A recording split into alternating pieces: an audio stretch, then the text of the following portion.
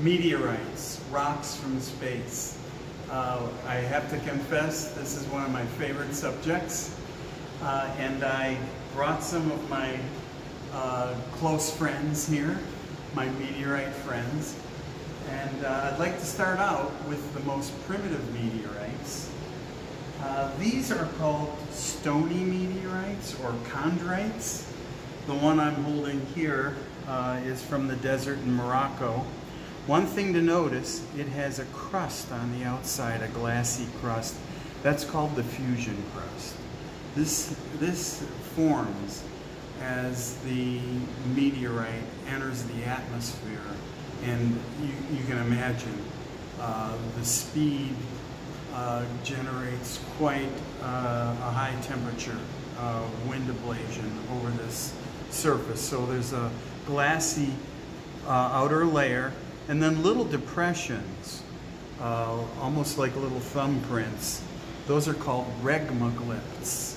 So this glassy outer uh, layer, fusion crust, and the little depressions are uh, from its tra uh, traversing the, the atmosphere. Oh, if I flip it over, uh, the interior uh, you may be able to see these tiny little spherules. Those are called chondrules, those little round features. Depending on how much metamorphism the meteorite had in its history, uh, you might not be able to see them as distinctly as this. But uh, these tiny little particles are the oldest solid matter in the solar system. They condensed out of the solar nebula about four 1.568 billion years ago.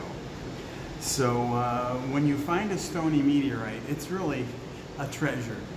So uh, these tiny little features called chondrules have the same mineralogy as the crust and mantle of the Earth.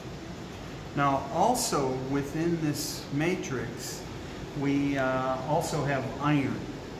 And uh, I'll demonstrate that by putting this magnet on.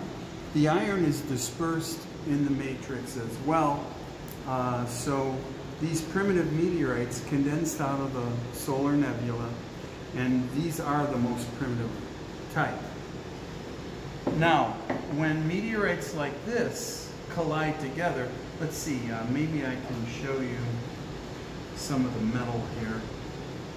Uh, let's try to angle that in the light. Are you getting, are we getting that at all? Little flakes in there. Okay, very good, very good. So uh, when these meteorites or material like this out in space uh, was swept together at various orbits, uh, particularly in the inner solar system, uh, they made bigger and bigger objects uh, through these through the impact and coalescence. So uh, depending on how hot they were and how big they were, they had a certain amount of radioactive material in them. Uh, they may have melted when they reached a particular size. And when they melted, the iron would sink into the middle, uh, and then the uh, silicate minerals would form in layers around that, very much like the structure of the Earth. So when these types of small asteroids, uh, would collide with one another, sometimes their iron cores were released as fragments that would then come down through the atmosphere. So these are the primitive or stony meteorites. These are the asteroid core fragments. So um, uh, let me show you this one. This was part of about 70 tons of iron that rained down uh, over a, a, region called Sikhote-Alin in eastern Russia back in the 1940s. Uh, but uh, you'll see the, very clearly the pits on the surface from wind ablation. Uh, and um, when we look into the interior of these meteorites, if we section them and etch them with acid, let me take this one out. Here we go.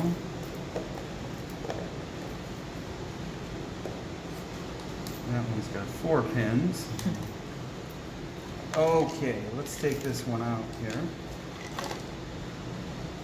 So um, when these are etched with acid, you can see the iron nickel crystals that make up uh, the mass of these meteorites. These are asteroid core fragments and uh, in order to get crystals this size you had to have extremely slow cooling rates, perhaps 2 to 3 degrees Celsius per million years. So um, these are fantastic meteor uh, uh, samples, uh, fantastic meteorites to find, slice and etch, and you can see the internal crystal structure. This is probably how Earth got its iron core, uh, being swept together uh, in this fashion as well.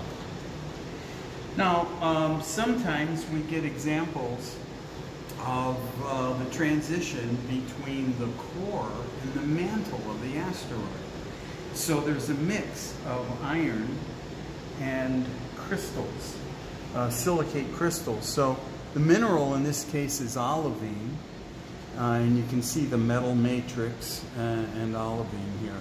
So much of the Earth's mantle is made of olivine, and uh, there was a significant amount of olivine uh, in the mantle of these uh, differentiated meteorites. I'm going to put a light behind it now, uh, and so you can see uh, the, the olivine a little more dramatically here. Okay, very good. So, uh, meteorites give us a, a record of the early history of the solar system, and this is a particularly significant type of meteorite.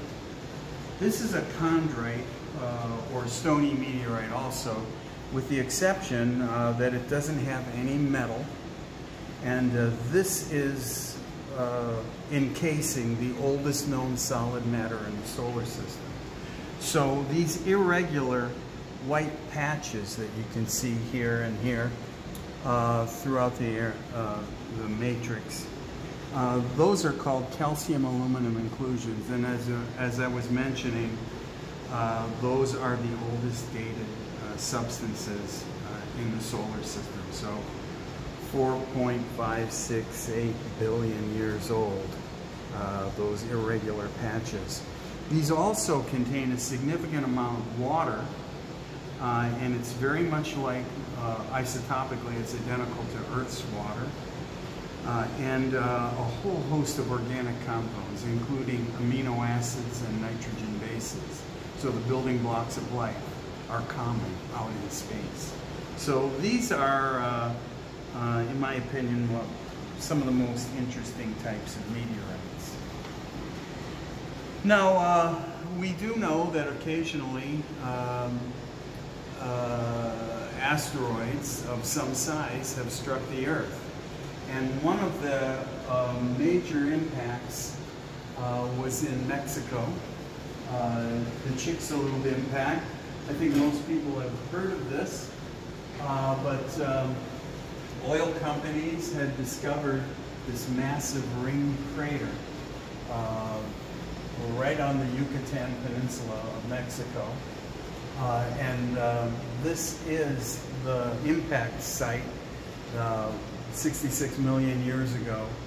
Uh, an asteroid struck here, and there is a lot of gypsum in the bedrock here. And so that was an unfortunate place for the asteroid to strike if you were a dinosaur. Uh, the uh, material that was blasted out of this, this area went up into the stratosphere. Uh, and a lot of the gypsum uh, created sulfuric acid compounds that froze and were very reflective. So it knocked out photosynthesis uh, and changed the world. There were shock waves of extinction through the terrestrial and, ocean, and oceanic communities, especially affecting uh, the big animals. So um, rocks from space, we, we uh, have quite a number of interesting specimens in our collection here. Uh, again, uh, the one that's featured prominently there uh, on the camera, uh, that is one of the pallasites. So that would be the uh, transition between the, astro- the asteroid's core and mantle with all the beautiful uh, olivine.